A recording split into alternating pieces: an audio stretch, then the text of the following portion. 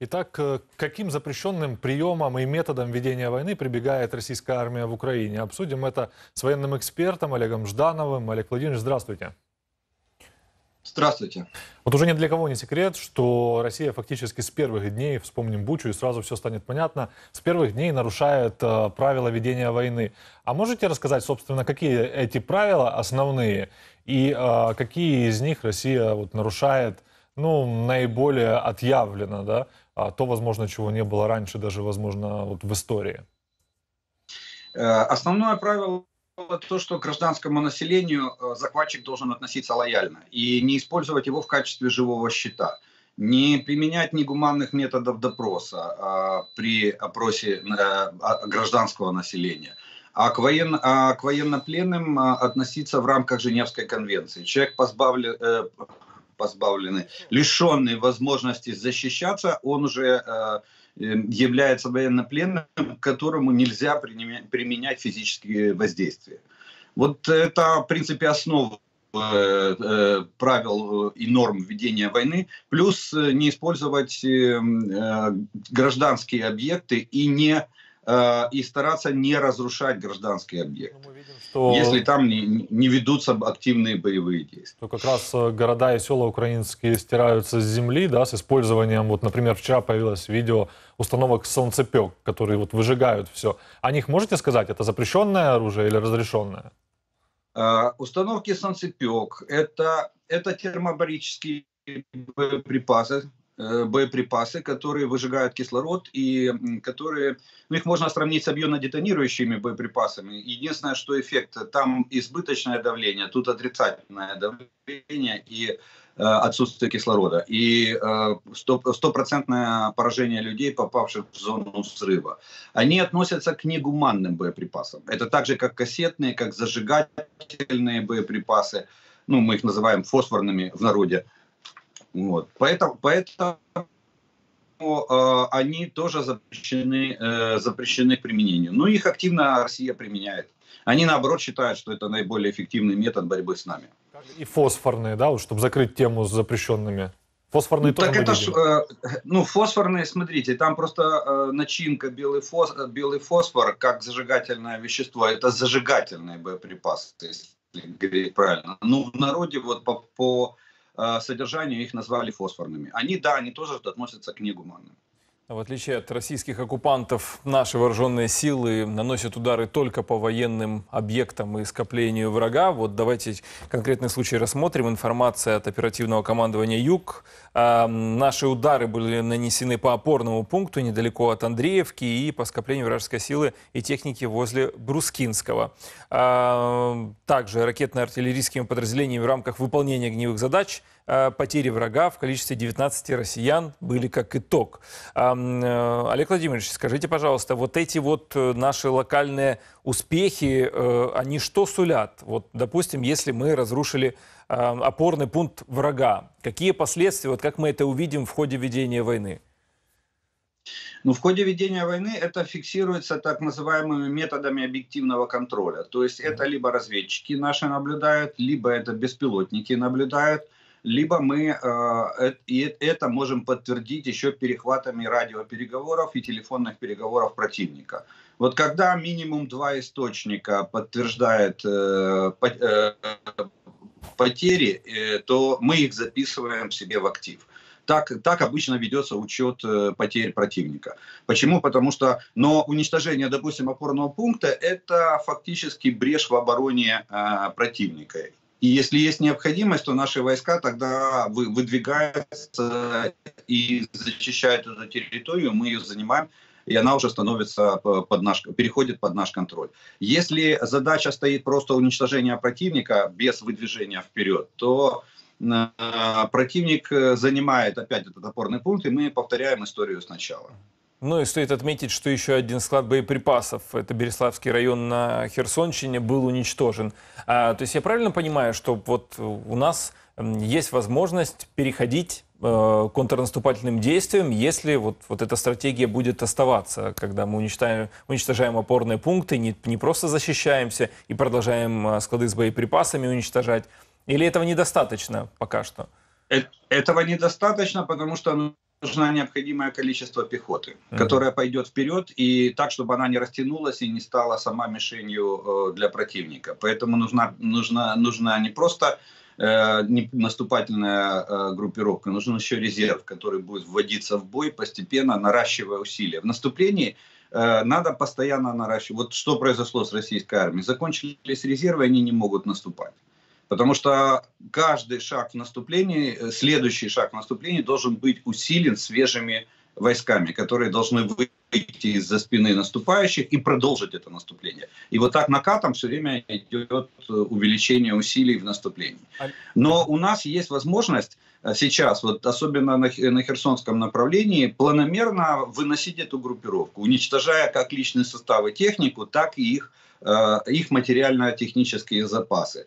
И когда боеспособность частей снижается, сильно снижается, то тогда, да, мы можем имеющимися силами потихонечку э, продвигаться вперед. Опять же, используя огневую поддержку нашей артиллерии и авиации. Олег Владимирович, я правильно понимаю, что как бы, пехота — это боевые бронированные машины, то есть они нам тоже нужны в большом количестве, потому что мы часто обсуждаем вопрос э, там, финансовой поддержки, военной поддержки да, со, со стороны Соединенных Штатов, других партнеров. То есть нам этот показатель тоже крайне важен крайне важен, потому что пехота в наступление без брони не, не пойдет. И ее просто повыбивает из боевых порядков, и на этом все, все закончится. Броня прикрывает пехоту в наступательных действиях, а танк поддерживает огнем в ходе, в ходе самой атаки. Поэтому вот это два основных компонента, три даже компонента. Машины, танки и артиллерия. Вот если эти три компонента собрать в кучу, пожалуйста, можно проводить наступательные, контрнаступательные действия. Олег Владимирович, вы а, только что сказали про Херсон, а мне интересно узнать, а, в связи с тем, что в последнее время много обсуждают это, а какие перспективы а, у Николаева, а, могут ли действительно пойти а, оккупанты в наступление на этот город, вот активно пойти? И отдельно объясните, пожалуйста, а, Харьков. Вот мы видим, что а, в последнее время все больше и больше туда прилетает всевозможных снарядов. А что там происходит? Какие там перспективы и, возможно, какие планы и цели у врага на Харьковском направлении? Э, ну, с Николаевым здесь э, ситуация более-менее э, понятная и она контролируемая. Была попытка наступать десантников российских, там десантно-штурмовая дивизия, 76-я а, но она оказалась неудачным и неудачной, и я думаю, что чем дальше будет, э, ну, э, чем дальше будет идти время, тем меньше у них будет наступательных возможностей за счет э, уничтожения материально-технических запасов этой группировки. Это первый момент. Второй момент: наша линия обороны на Николаевском направлении, она довольно прочная, и на сегодняшний день теми силами, которые есть у, у российских войск, э, прорвать ее практически невозможно. Этот вопрос можно пока э, отложить с повестки дня. Что касается Харькова, здесь сам фронт в районе города стабильный. Единственное, что у нас ну, не хватает пока силы и резервов для того, чтобы выдвинуться к государственной границе. Там прямое снабжение с территории России российских войск – и поэтому довольно тяжело нам э, выбить их э, с этих позиций. А что касается города, ну вот это они применяют такой метод э, огневого террора, просто снося город с лица земли. И там только они перебрасывают огонь с района, то на Салтовке, то на Холодной горе. И таким образом, чередуя э, нанесение ударов, они просто стирают город с лица земли. Да, в подтверждение ваших слов можно сказать сообщение за сегодняшнее утро. Это просто фактически с трех часов ночи Терехов сообщает, что э, Слободской, Киевский и Ново баварские районы города Харькова были обстреляны. Э, пять прилетов было по абсолютно жилым домам. Олег Владимирович, э, не могу вас не спросить про Запорожскую атомную электростанцию, потому что каждый день поступают сообщения. Вот, например, Соединенные Штаты Америки на заседании Совета Безопасности ООН указали, что для безопасности этой атомной электростанции нужно вывести оттуда российские войска и создать демилитаризованную зону, обеспечить доступ экспертов МАГАТЭ. И как бы очевидно, что Василий Небензя, представитель России, конечно, не поддержал это предложение и сказал, что демилитаризация может стать, э, сделать уязвимой станцию для тех, кто хочет ее посетить, посетить и какие цели и задачи никто не знает. Ну, в общем, э, террористы якобы опять рассказывают миру, что они боятся террористов. Насколько еще вот эта оккупация Запорожской атомной электростанции может помочь россиянам э, в ходе ведения войны? Вот как вы видите, насколько она может быть сильным аргументом? Ведь все-таки вот ядерный взрыв – это не шутки. Ну, во-первых, ядерного взрыва там не будет.